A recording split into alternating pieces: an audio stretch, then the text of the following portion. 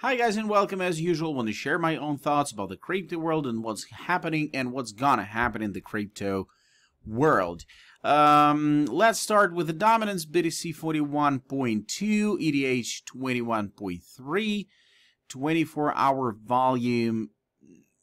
Um, it's like nothing, about nothing. Market cap is getting lower. There are 15,546 cryptos in the world, and Bitcoin is dancing around $48,000. And this is boring, guys. Mm, and actually, everything is quite boring except couple projects. RAF, whoa, plus 40%. Hmm, interesting. Uh, all the crypto except couple uh, except couple projects here in red, some in green, and it's only day. It's daily. Uh, all the reliable projects in the red zone. It's definitely not the altcoin season, if you wanted to know, and what's gonna happen with Bitcoin I told you, I told you that uh, probably we're gonna dance around the same numbers. We're gonna dance around the same numbers. The volatility is uh, like extremely low. Mm, sales are on on boring level. There's no trades at all, almost. So the people who's selling Bitcoin right now, mm, they are maybe they're getting profits, but in most cases, I believe that they uh, collecting losses, and this is silly. This is um, not funny at all.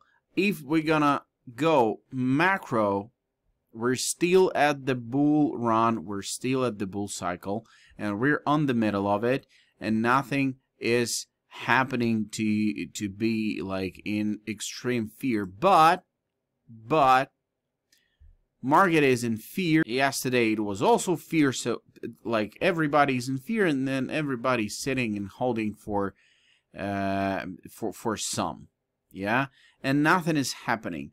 But um, a lot of people saying that we can go about Bitcoin that we can go to forty thousand. I don't believe on it. I believe that uh, at at the support uh, at the resistance of 53, we're not gonna uh, we're not gonna see some amazing and incredible results until we're gonna uh, break the 53. Now we dance in 48, and you see this side move, this side trading is ongoing, and nothing is showing that that something will uh, happen in couple days. I believe that this week gonna be like poor about the about the news mm, uh, for for Bitcoin to to see some some really nice results. So to jump higher to 70,000, at least to 70,000 and make a new all-time high, um, I expect like two or three weeks at least to uh, to get back to this path that we was drawing with you uh, on this videos. Mm, 53 again, $53,000 is strong resistance uh, and that's why we're not jumping any any higher. Uh, what's happening in the DeFi sector? Let's discover what's happening. Nothing special. Uh, all the numbers. Mm, you need to understand one one interesting thing. That all the altcoins, all the projects, uh, not the Bitcoin, okay, other projects will be nuclear when we're gonna see uh, Bitcoin at higher levels, and all the market will recover, uh, and and and all the altcoins will show like great potential. All the reliable projects, all the fundamental and innovative projects will uh, explode faster than small um, and, and, and not so trustworthy uh, projects. NFTs. In the NFT sector, the same thing. The numbers of plus and minus are pretty, uh, Okay, Rose. Oasis Network May 36 and this is great. And you see, th this big and reliable projects that haven't made yet uh, all-time highs, they will they will explode. They will explode for sure. NFT, what's happening in the metaverse, the same, nothing impressive. Uh, but I want to show you one one interesting thing. I bought my ape for 0.08 Ethereum on minting night. I just sold it for 347 ETH. It's about $1.5 million. So if you think that it's pretty impossible in the crypto to gain money, uh, you're wrong for sure. Uh, NFTs are not on hype right now, but metaverses are in the hype right now. And if you'll jump to this project, it's the trend for couple next years.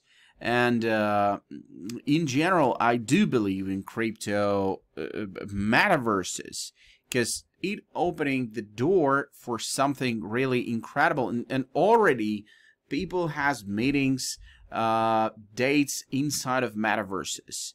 Uh, all those sci-fi movies where uh, like all the people around sitting on the VR and just playing all day long, that's what's gonna happen.